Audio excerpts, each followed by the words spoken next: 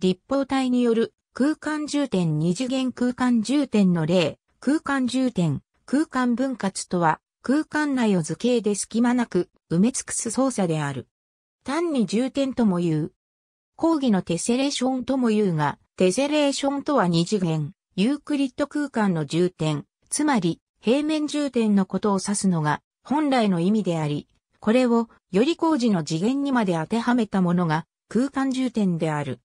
空間重点によって構成された立体を空間重点立体と言い、空間重点によって埋め尽くされた空間を空間重点型という。定義から言えば空間はどんな空間でも良いが、単に空間重点、空間分割といえば、三次元、ユークリッド空間の重点であることが多い。N 次元超球面の応法体による重点は、N1 次元多法体とみなすことができる。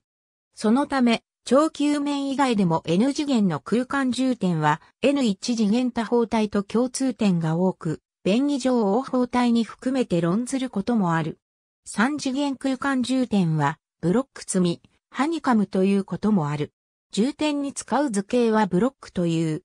平面重点図形を柱からだ、斜柱からだにしたものはすべて空間重点可能である。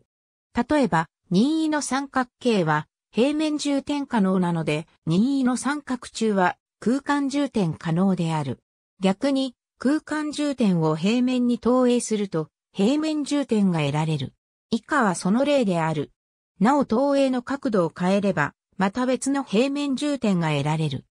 ひし形十二面体による空間重点儀でいただき八面体による空間重点一種類一種類の多面体で空間重点できるのは平面に比べて幅広く、講義の一様多面体及びそれらの相対の中からでは以下のようになる。は、主例振り記号である。このうち最初の3つは、正方形、正三角形、正六角形による平面重点を柱体にしたものである。説いただき八面体、ひし形十二面体のみが本質的に三次元的な空間重点可能な一応多面体である。これらの相対重点は次の通りである。これらのアフィン変換も空間重点図形である。例えば、立方体に対する平行六面体、アルキメデスの肖像角柱に対する斜三角柱などである。また、対応する面に凹凸をつけたり、重点図形を合同ないくつかの図形に再分割したりしても、新しい重点図形が得られる。しかしこれらは、数学的には本質的に新しいものとは言えない。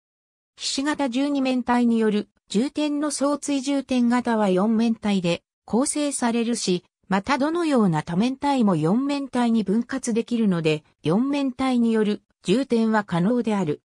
ただし、それが可能なのは限られた形の四面体だけである。任意の三角形で重点ができる二次元空間とは異なる。一つの図形の平行移動だけで空間重点できる図形を平行多面体と言い、すべての面が反対側の面と平行である。変形で得られるものを除けば、以下の5種類である。これの内長ひし型12面体だけが、講義の一応多面体かその相対ではない。2種類性4面体と小8面体による空間重点性4面体と切れいただき4面体による空間重点2種類以上の場合も同じように多く、講義の一応多面体とその相対の中でもかなり多い。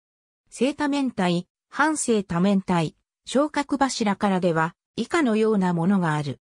3種類4種類また等面量系多面体の各種を組み合わせても空間を重点する。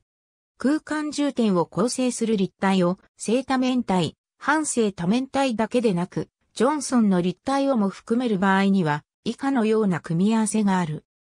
1種類2種類3種類4種類以上、正多面体を解く一松の部長、東海大学出版会 ISBN 978から44億8601万5871多面体木工佐藤育夫中川博士著科学協力学祭センター ISBN 978から49億9058万8007一次元ユークリッド空間重点としては自明な線分による重点がある。二次元ユークリッド空間重点は平面重点である。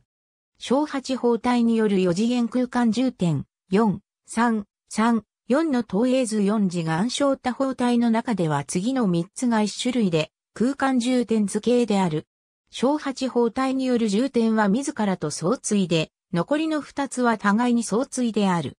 5次元以上の正多法体の中では、一つ、定時元な重点から、自明な超立方体での重点のみが可能である。これ以外の正重点型があるのは、2次元と4次元だけである。正五角形による二次元双曲空間充填5、4非ユークリッド空間でも空間充填は可能である。例えば、双曲空間では多角形の角がユークリッド空間より小さくなるため、正七角形による二次元双曲空間充填7、3など、ユークリッド空間で実現しようとすれば、角の和が360度を超える充填が可能になる。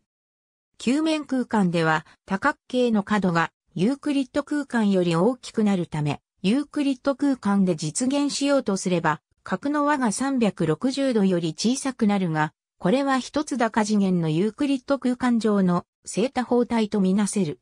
例えば、二次元球面空間充填は正多面体、三次元球面空間充填は正多胞体である。ありがとうございます。